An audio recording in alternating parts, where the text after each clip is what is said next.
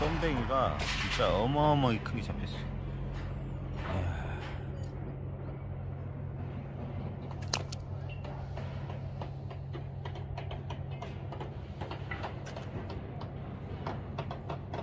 이렇게 큰 쏨뱅이 또 처음 잡아보네. 와.